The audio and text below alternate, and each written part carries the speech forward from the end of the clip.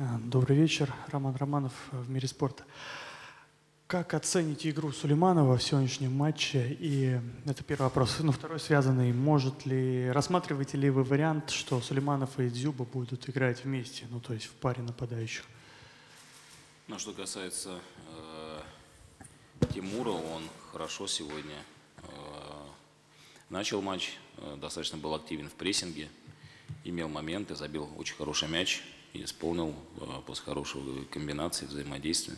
Поэтому, естественно, э, довольны, довольны тем, как он э, работал, я имею в виду, и тренировался, самое главное, и вошел в состав, поэтому сегодня свой отрезок отыграл очень прилично. Что касается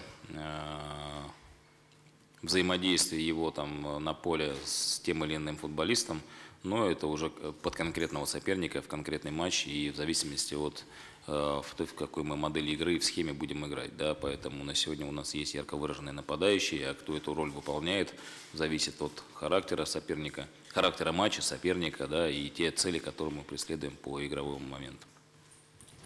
Спасибо.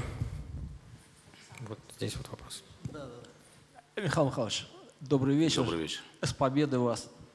Но ну, ваша команда просто за два тура подпрыгнула на третье место. Не поднялась даже, а подпрыгнула, скажем так. Вот сейчас смотришь таблицу, и «Локомотив» сегодня, я говорю, была, была победа. Как сейчас атмосфера в команде? И не, есть, у вас, есть ли у вас опасения, что все-таки люди почувствуют, что уже много сделано, и перестанут, так сказать, относиться. И вот ваше мнение сейчас, вот по, э, просто прошло две недели, короткий срок от того, как вы в общем, провели неважный матч с Оренбургом до того, как вы сыграли, вы выиграли, так сказать, уже три матча подряд. Есть какие-то? Ну, очень важно было нащупать уверенность, очень важно было сбалансировать состав и определенные вещи. Мы, я думаю, что целостнее сегодня выглядим по качеству игры. Самое главное, состояние наше, оно позволяет э, функционально э, проводить сегодня вот именно те отрезки в матче, на которые мы нацеливаем нашу команду. Да? Вот, поэтому это раз. Второй момент, мы всецело понимаем, что ну, эйфории быть не должно никакой, потому что все очень, очень тяжелый, ровный чемпионат, э, который в каждая команда бьется и может обыграть друг друга в любой, в любой момент. Поэтому все всецело понимаем, что сегодня э, сыграли, сыграли достаточно неплохой матч по качеству игры, показали хорошее движение, хороший результат, но все свои умения, навыки, силы, уровень подготовленности бросить надо теперь уже на подготовку к игре с Уралом. Еще один вопрос. Ну, обычно такие кубковые матчи, они дают возможность тренеру ну, посмотреть резерв, посмотреть, э, кто как играет, но, но всегда тренер придерживается одного принципа, выигрышный состав не меняет. Вот по сегодняшнему матчу у вас есть какие-то соображения на следующую игру или, или все-таки будет выигрышный состав? Нет, я думаю, что ну, вернуться к вопросу э, вашего коллеги, да, э, разные соперники и разная, соответственно, подготовка к ней, да, с точки зрения тактики, с точки зрения анализа игры. Поэтому и ту модель игры, которую мы выберем, и самое главное, тех исполнителей под нее, да, вот это тот матч, который будет уже в преддверии. Поэтому посмотрим. Сейчас самое главное, как я всегда говорю, игра прошла, надо сейчас восстановиться правильно, посмотреть, чтобы все были, самое главное, здоровы и э, полномерно готовиться к Уралу. Спасибо. Саш Баранов, будет от вас вопрос? Да.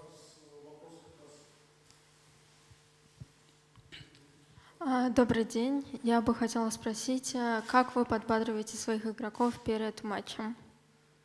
Мы их э, даже не то что подбадриваем, мы даем им определенные задания, да, которые необходимо выполнять, э, определенные принципы, как надо действовать в той или иной ситуации, когда мы атакуем или обороняемся, а уровень Наша мотивация, он в любом случае один, потому что мы локомотив, мы представляем большую команду, большой клуб, и мы не имеем права а, шарахаться, и уровень стабильности, стабильности нашей игры, стабильности качества нашей игры а, не может падать. Да, по крайней вот к этому мы стремимся, потому что мы планку подняли для себя победой в определенном матче да, с «Зенитом», и э, по уровню самоотдачи, по уровню э, накалу игры, Это вот если мы говорим о подбадривании. Вот и команда должна этот уровень держать и ниже не имеем права падать.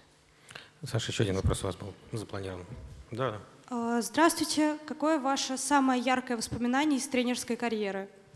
Я очень надеюсь, что э, самые яркие воспоминания у нас еще будут впереди, потому что э, мы заканчивать свою работу не собираемся, только двигаемся вперед э, и добиваться успехов и побеждать. А в любом случае в футболе победа и поражение, они всегда рядом. Здесь надо правильно всегда э, воспринимать все, не, не шарахаться.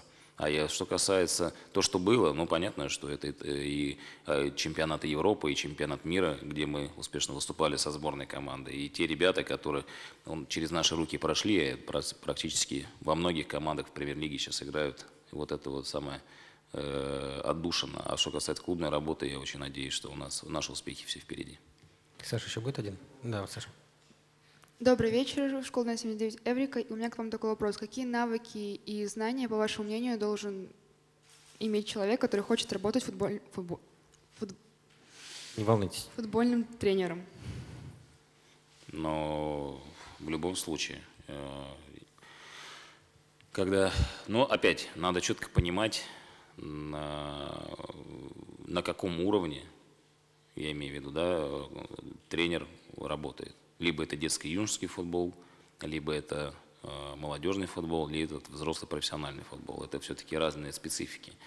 И уровень своего образования, э, в любом случае знания э, уровня подготовки физиологии, выстраивания методологии тренировочного процесса,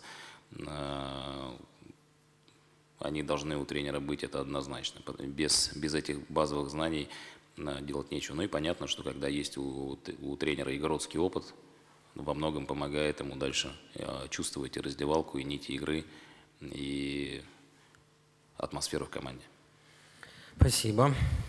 Михаил Михайлович, ну последний вопрос, наверное. Вы, у вас задача стоит, я думаю, у Локомотива, не буду спрашивать, выиграть кубок, это понятно. Боль, других задач нет. Но в прошлом году вы обидно очень, так сказать, проиграли Акрону. Хотелось все-таки вам напомнить, вы ошибки какие-то извлекли сейчас для себя как тренер, что э, нужно было какие, ну, как бы для этого сезона уже что-то по-другому решать и как-то готовиться к таким матчам наподобие с Акроном или с другими командами. То есть вот для себя лично участвовать. Потому что задача, я думаю, у вас стоит выиграть кубок.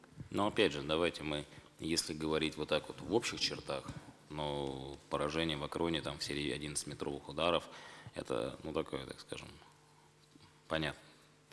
А что касается опять подготовки к каждому матчу в отдельности, а, к какому сопернику мы готовимся, какой состав играет, какой уровень подготовки у нас на сегодня, вот это вот очень важно. Поэтому сейчас все двигаемся поэтапно. Любая игра, неважно, даже то, что вот мы сегодня победили, это в любом случае пища для размышлений, да, потому что не можем мы сказать, что у нас все отлично, все хорошо. И то же самое, когда мы проигрываем там, или уступаем. Да?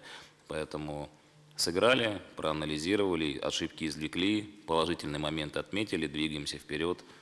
Без этого не бывает.